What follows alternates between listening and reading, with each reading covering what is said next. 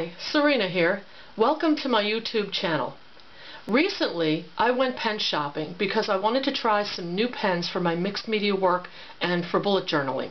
And I thought it would be interesting to review some here. So let me show you what I've got. Alright, now first I have the Kuretake Millennium Collection. Now this these pens I've used quite a bit. I use these in my watercolor journal and I really like them. Um, they're the older ones. Uh, the newer ones I think are not silver, they're like a tan color, but I can review them just as well. Okay, and then I've got the Tombow uh, brush pens. Now one of these has a hard tip, uh, the other has a soft tip. So we'll look at those. I've got the Faber-Castell Modern Lettering, those are Pitt pens. Now these are India ink, which is nice because they are waterproof. And the different brush tips there, they've got brushes and nibs. Um, look at this one, which is a colored set. This is the Artist Pitt pens, also from Faber-Castell. Um, and they've got various tips on them as well. They've got the brush tips and the fine point. Uh, those are also India ink, which is interesting to have those in colors. I like that. Now I got another set from Faber-Castell, which is for lettering art, just in different colors. So those were all blues and purples. These are, uh, give me some different colors there. Then I have a calligraphy art, also from Faber-Castell. Um, I'm not getting any endorsements. It just happened to be the brand that the, my local store carried or that I found online that fit what I was looking for as far as, let's say, um, waterproof qualities and so forth. Uh, but this is a very interesting set because it's got the muted colors. I really like that. I'm going to like this one for journaling. Um, India ink, it's archival, waterproof, permanent, light fast, and odorless. So that's going to be an interesting set to use.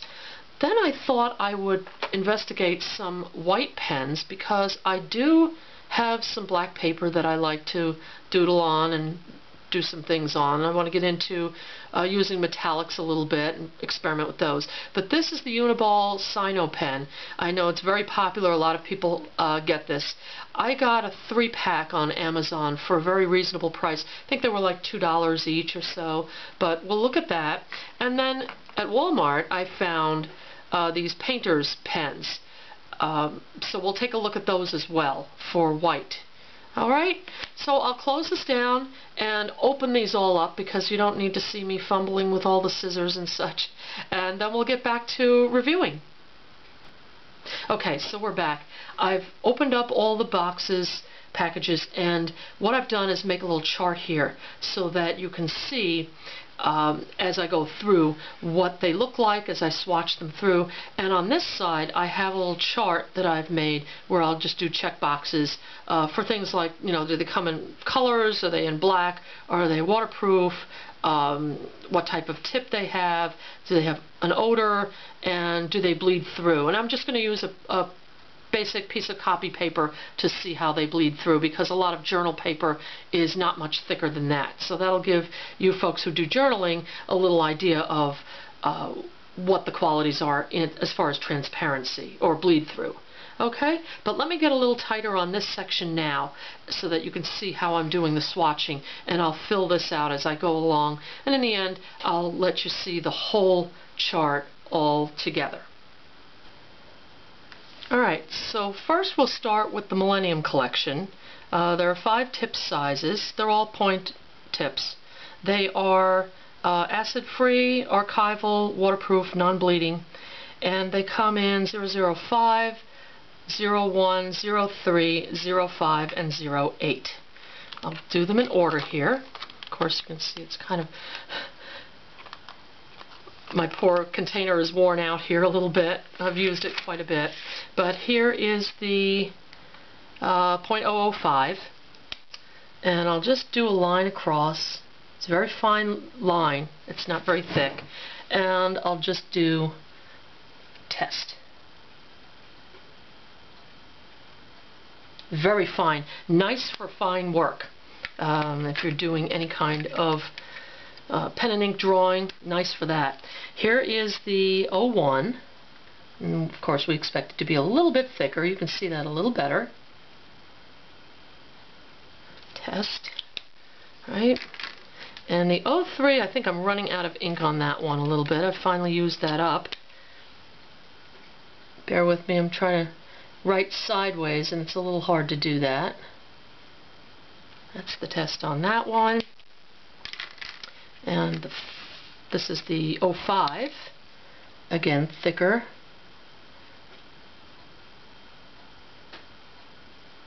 I tend to use the 05 and the 08 a lot in my journaling, uh, in my watercolor journal, because it gives just the nicest line. It's not too thick, uh, but you can still see it. Okay, see there, you see that. Alright, now I'm going to check off the uh, checklist here. Of course, those are all black. Um, they are waterproof, and these are uh, bullet points. Um, I have to take my word on it. There's no odor. And let's check the bleed through. I'll use a handy dandy paper towel underneath a piece of copy paper. And let's see what happens with that. Okay, do we have bleed through? Mm, not, no heavy bleed through, but you can see the line a little bit. So just to give you an idea of that. So I'm going to say yes because some people would not want any line showing through. So that's the Millennium. Now, the next ones we're going to test are the Tombow. And these are, one of them is a bullet and one is a brush, I believe. Okay, I think this one is a bullet. That one, we'll try that. Oh no, that's a little bit of a soft tip. It has some give to it. Oh, that we have to do calligraphy with, I think. Uh, so what shall we call that one? I don't know. They call it, let's see, it's a hard point and a soft tip. So that's a soft tip.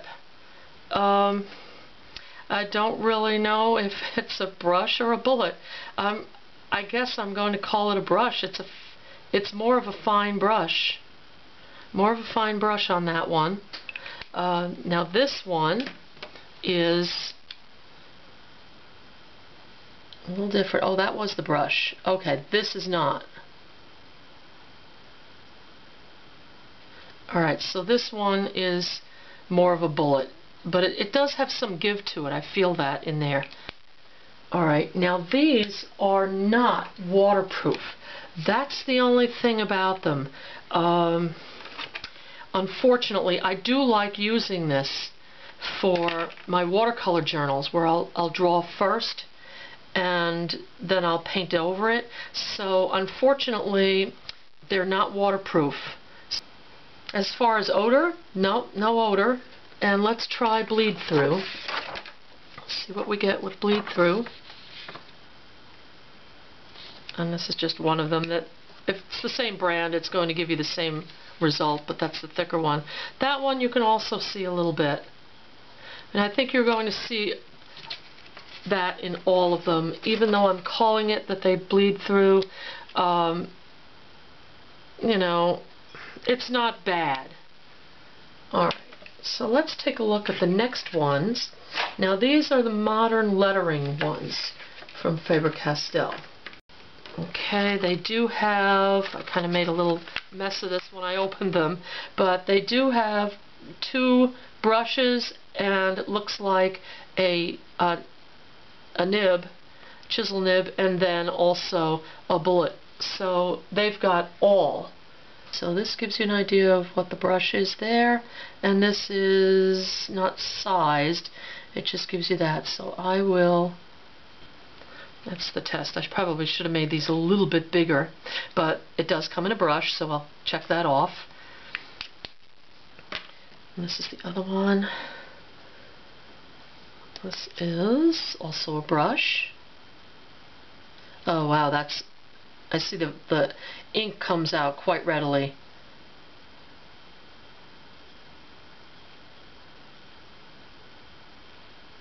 Now this is on watercolor paper, so you'll see it's a little bit um, it bleeds, a, it's kind of fuzzy on the edges a little bit, but um, you know, you use these for different things.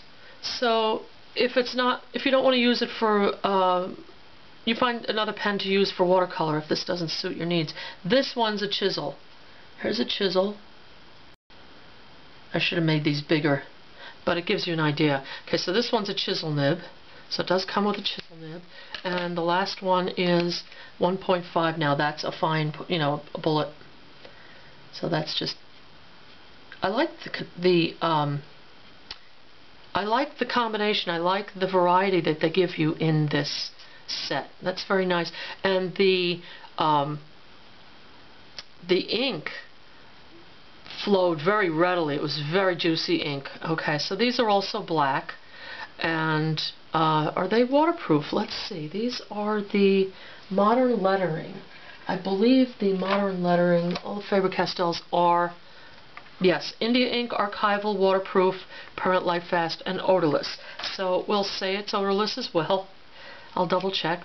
Yes, odorless. And let's check for the bleed through. So you see, it does you can see it a little bit. I probably really shouldn't say these are bleed through because they really aren't um, strongly bleeding through your paper. But we'll leave it at that. Now the next ones we have are the Good Vibes. These are the colored ones. These are the blue ones that I've gotten. We'll take a look at these. This one's a fine point here. This is the Oath, the point three and that's nice there. This would be good for journaling. Okay. Now we know these are in colors, so we'll check that box off. And this is a bullet, so I'll check that off because it's definitely a bullet. Um, no, no odor to it. Let's see if we can test that. Of course, that's a lighter color. You can still see it a little bit, but I don't think it's as show through, see through as the others. So I'm going to leave that off. Alright, this one is brush. Okay, so it's going to be thicker. Oh, look at that nice color. Nice color there. Okay, so these are colors. And this one is a brush. It comes in a brush. Check that off.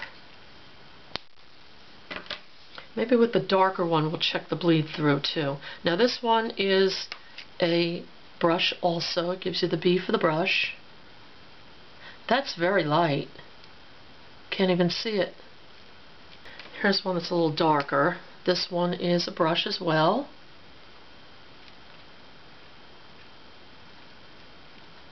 I like that color try this one. This is a brush as well. Oh, that's pretty.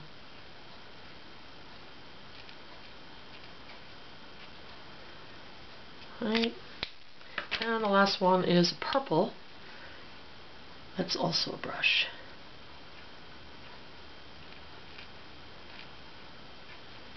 Alright, so let's see with the purple if we have any bleed through because that will be the darkest color. Let's try that. There we go. And with the lighter color in this set, I'm not quite sure. See, it's about the same. Maybe I shouldn't have listed these as having bleed through because most journal paper is a little thicker than copy paper. So I think, well, if I left it as bleed through with the others, I'm going to list, list it for this one too because they're all about the same.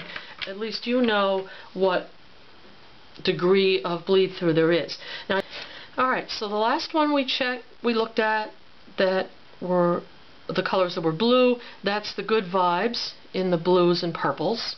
All right, this one is going to be the lettering art, also from Faber-Castell, and all brush tips. So let's take a look at those colors. I wanted some colors. Of course, we're starting out with similar blue here. That almost might be the same as some of those.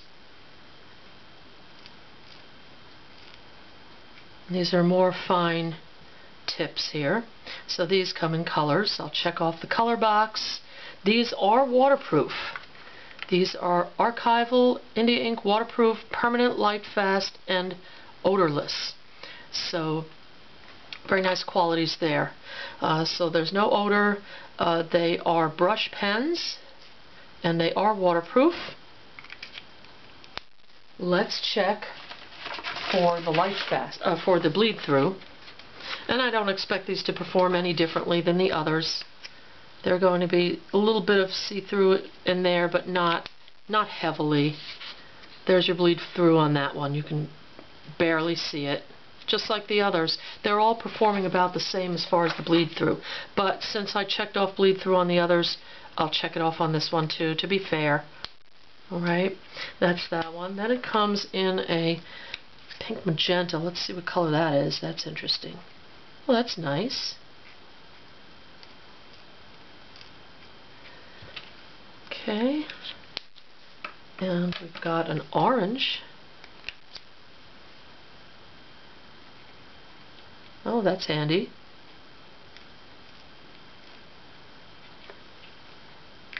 Certainly won't use these for watercolor work, but definitely in my journaling. And this one is a surprise. Oh, that's almost like a, uh, oh, it's almost like a greenish color. It looks yellow, but it's almost like a greenish color, so that's nice. Let's take a look at some of these in, as far as bleed through because you might be interested in that. I'll just do these real quick here. That one, orange. Of course, the yellow or greenish one, we're not going to have very much on that. Very light color. But take a look at that. See? So that's not bad. Just comparable or lighter than the others. Alright, now we have the calligraphy art. This is an interesting one. This was the nice set that was uh, that had the muted browns and, and neutrals. What's nice about this one, it did come with a guide. Uh, it came with a calligraphy guide. So it's just a pamphlet, but still, it gives you a little bit of guidance there if you've never used uh, this type of pen before. It gives you a little bit of you know, the guidance and how to make different letters, practice strokes. That's nice. Of course, it comes in English. and it's got a little history of it, I guess. And a sample alphabet to try. So I think it's very nice of them that they include that with this. A nice starter set for anybody that wants to learn how to do calligraphy. Okay, so this comes with six pens. That's what the little numbers are next to. Here it shows me how many how many uh, colors there are. So these are chisel points. These are all chisel points. So I'm going to have to bend over here a little bit, whoops, to get those on there. Wow, that one is not, either I'm not doing it right or it's a little dry. That one feels dry. That one definitely feels dry. Hmm, not satisfied with that. Okay, that was the light gray one. Let's check this one out. The chisel is almost, you have to give it even pressure because it's not an angled chisel, it's a, cut straight across. So I'm trying to, I'm trying to do it sideways there. Okay, we'll keep going. Let's see if this improves.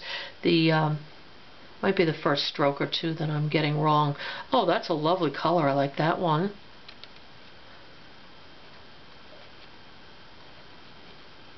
I definitely need a larger test surface here so you can see how these are writing, but it kind of gives you an idea. That one's almost the same. That one has a little bit more like a like a raw umber, raw sienna. Okay, let's check this one out. That's a nice deep color. Okay. And the last one, this one's black, which is good. I'm glad they include a black. Well, you really have to be careful that you give it a very even um, pressure with your hand that you're not. You tend to lean more toward one side and it doesn't give you coverage, but you have to make it very even the way you hold it. I guess that's that uh, calligraphy guide will be helpful with that. Okay, so that's that. Alright, so with these, uh, it does come in black, and it comes in colors. Uh, it is, is it waterproof? Yes, these are waterproof. They're uh, India ink, they're archival, waterproof, permanent, light fast, and odorless. And we'll see what happens there. Similar to the others. That you see a little bit more because it's a wider tip, but that's all. But since I put uh, bleed through on the others, you I'll do it on this one too. Take it with a grain of salt or sand, however you say that, and um, and I'll go from there. Now, the last two are white. So I'm not going to be able to test them on here, of course. I'll fill out the chart, but I can't test them on here. What I do have is a uh, little sample pack that I got of Stonehenge Aquapress Black. And I've already used the Signo pen on this one. Uh, so I can show you again a little bit on the, uh, playing with it. But I've already played with it a little bit on this. Uh, I just doodled a little bit, put some stars and the sun, plant a little cat there. Um, but, you know, it's it's a nice, it get, does get a little bit of a, uh, call it crust on it. I'll wipe that off a little bit. And it takes a little bit to get going, I've noticed. But once it does, then you get quite a nice line um, with this pen. And a lot of people use these, I see, to put highlights on some watercolor paintings that they've done, uh, or to use it on black. I like it on black. It's very nice. Uh, it's a nice pen. Nice thickness. It's not too thin, not too thick. So I do like that. Now let's mark this off. I'll take one of my uh, Millennium pens, Pitt pens, and check off for this one, which is the Signo White. That's the Uniball Signo. And that is white. Well, the next one is Elmer's Painter's White. Okay, now this one is opaque, but the writing is so small I can't really see if it's waterproof, but we'll test that later. But this one requires shaking. There's a little shaker ball in there that mixes it up. And it's a pump pen, so you have to press down hard on the uh, tip here. But I have a paper that I've already kind of worked on and I had to refilm this section because it um, I filmed it off camera. I don't have a monitor to show me.